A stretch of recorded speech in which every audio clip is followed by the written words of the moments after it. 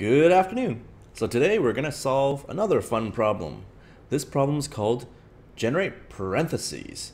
Now, this problem I actually got asked once while I was interviewing with one of the top hedge funds. So I thought it was pretty good to, uh, you know, go through it this time um, and uh, solve it with you guys. So in LeetCode, this is considered to be a medium difficulty. Um, so let's read the question and see where we can get uh, okay, given n pairs of parentheses, write a function to generate all combinations of well-formed parentheses. So let's note on this one keyword, well-formed. So what is a well-formed parentheses? It means something that is completely, has an open bracket and a closed bracket, completing it as one. So that's that's pretty much a well-formed parentheses. Something like this, nah, it's not gonna work. Okay, for example, given n equals 3, the solution set is this. So you see how uh, for every 1, 2, 3 open bracket, you're going to have 3 closed bracket following. Same case here. Uh, you have things that are open, open, and then you close off, and then you open again, you close off, close off. So a well-formed set is pretty much something that ensures you always start off with a left or a, I'll call this an open parentheses, and you have to ensure that it will close with like a, you know, or right parentheses. So let's, when we look at this question, um, we could almost ask ourselves, it, it sounds pretty much, because we had some keywords, find, generate all combinations of well-formed parentheses. When they ask questions about getting um, all combinations, you should start thinking about, okay, maybe what, what, what kind of tool sets do we have that we can start generating all possibilities? And then after with once we generate all those possibilities, only select those possibilities uh, that are valid and push it into our solutions array. Think about it. It sounds pretty much like recursion, doesn't it? I think we're gonna try. Let's let's try solving this with recursion um, and and see how it goes. So, like I said, in all of these things, I like converting it into ES6 format. Great. All right. So I'm gonna go and establish my solution array first, just because I like it, boom. And because I'm gonna do it this, this time a little bit differently, I'm not gonna establish my helper function outside. I'm gonna try and do it within scope so I have access to the solutions. Um, so I'm gonna write a function in here to help uh, generate all the possible combinations. So I'm gonna call it const uh, generate combo, right, will equal to um, something in here something in here. And we will have our our uh, exit conditions, conditions, conditions. And then we have to make sure we invoke it. So generate combo, combo, and you pass in your stuff in here and ensure that we actually return our solution. So this is just getting the basic structure of our, our program out. We just meant to make sure that in recursive um, manner, we establish uh, an exit condition and ensure that we make sure we actually, you know, call it. So what things you want to, would you want to pass into into this particular element? Think about it. I think I'm gonna like to pass in the left parentheses p count and the right p count. And I'm gonna pass in also something that is gonna, you know, as we iterate through these combinations, we're pretty much gonna generate a partial partial string, right? Or a partial combination of it. So let's continue. Alrighty. Okay, so one of the things we want to check um, before we go through this recursive calls to basically get rid of all the invalid ones. So invalid as we go into the recursive tree. So one of the things you want to do is pretty much say, okay, well, if my left p count is going to be greater than my right p count, then just exit. So in this case, it's like if you generate a case like this, boom, it's going to exit and it won't return anything. Great. So what's the next thing we need to check? Well, if the left count and the right count total becomes zero, then we're pretty confident that we've used up pretty much all of our uh, parentheses. So remember, we're given the number of complete pairs, right? So n is going to be like saying that we have three of these open guys and three of these closed elements, right? So my goal here is to say that, okay, if my three count is going to become zero, or my and my right count is going to come from zero, then pretty much we have a full set. We're good. So let's do that. If my, I'm going to call left p count, I'm going to use a this notation It's going to be kind of fun.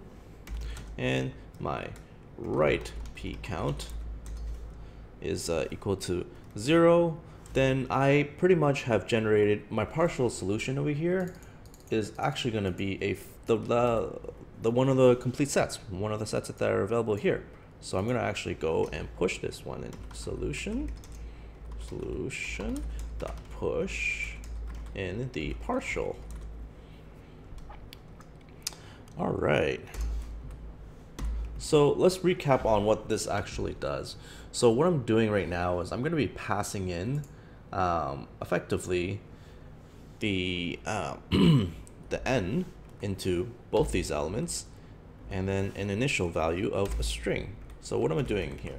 So I know that I'm to have left um, since there since we have like three in this case three complete parentheses I know my left parenthesis count is going to be three my right is also going to be 3. And I'm to parse, I'm going to try to build up these strings by passing in an empty string. So if my left count is ever going to be greater than my right count, so for example, like this, um, I know for a fact that if I generate any combo, I will always have something with an open bracket. So that's not valid. That won't be a valid partial string. So I'm going to eliminate that and kill it. And we also know that if all these are gone, boom, boom, I can push, then I pretty much generated a actual valid set. So I could actually push that particular um, partial string into my solution. So what are the things that we actually need to check um, in here is um, checking, now we have to start building these things. So one of the things is making sure that we have a valid uh, parentheses, so about left p count should be greater than zero. Uh, and then I'm gonna generate combo while I go left p count minus one, I'm gonna basically say, okay, cool, I'm gonna take one of those left p counts, right p count remains the same,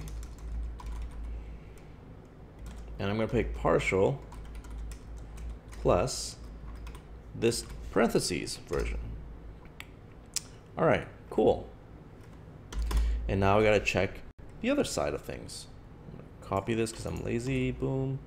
This is going to be my right p count is going to be greater than zero. And then I'm to basically pass in the right p count minus one. And now I'm to build the right side of things. Cool. So what we're actually doing, let's let's kind of recap what we actually did here. So what we're doing is like we're given a number three, which indicates that, okay, there's to be three, there's going to be three open parentheses and three closed parentheses like this that's available to us. Go along to every parentheses, we're essentially generate all possible combinations and picking out the ones um, that actually fall, fall into this condition of being a complete uh, parenthesis set.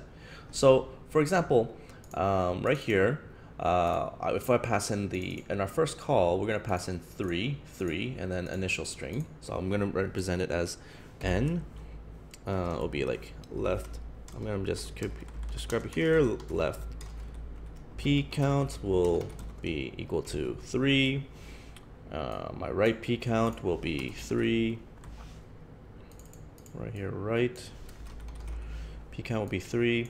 And my partial string right now I'm building is going to be uh, partial will equal to an empty string. So on my first call of this function, I'm going to check is my left p count greater than my right? Well, 3, 3, no. Is Are they equal to 0? No. So what am I going to do? Is my left greater than 0? Yes.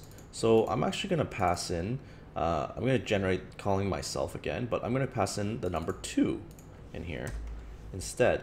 Uh, and my right p count remains this 3, and my partial string at this time is going to not going to be this blank one anymore. It's actually going to start out with, I'm going to call it partial, I'm going to call square root 1 to be the to indicate this is part of the first call stack. It's going to open up with this, with an open bracket, right?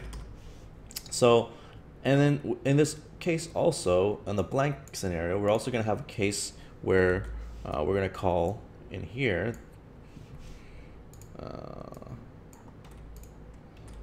we'll call and open it with a open parentheses, right?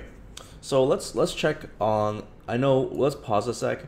I know this will be a valid entry and then pretty much this will continually call the same thing. It's going to have another set of either going to be an open one and a one that has like on a second call stack it's going to be open one and then the second one would be like this option which is completely valid and then so on and so forth. It'll build those comp components. But let's let's look at what happened in the in the first call stack first. So on the first one, we had one that generate the open parentheses and a closed parentheses.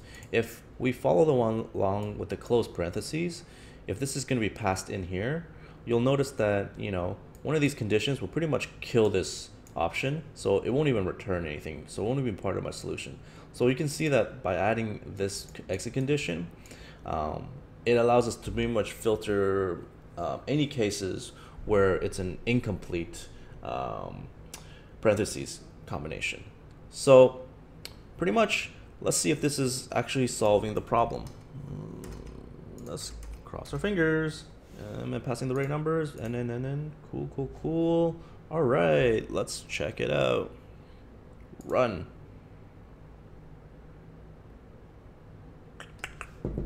Oh no, error. Oh, ha. Foolish me. Run.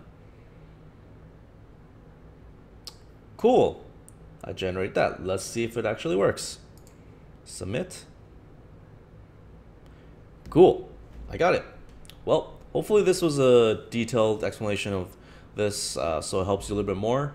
Um, I know it's kind of hard to visually or actually explain it verbally on how, uh, you know, uh, recursion works, but just think of this in one more note. Just think of this as like a big tree, right? For every node you pass in, you're gonna you're opening up a new call stack that opens like more branches. And from those two, you have like two conditions. You open the same branch, same branch, same branch, until the point where you have your exit conditions. And in our case, our two exit conditions are either your left parentheses is greater than your right parentheses, which makes if you ever generate any more combos to be invalid, or um, if both your parenthesis counts are equal to zero, meaning that oh cool, the the string that you've generated would be a valid one. Well, hopefully this helps you. See you until next one. Bye.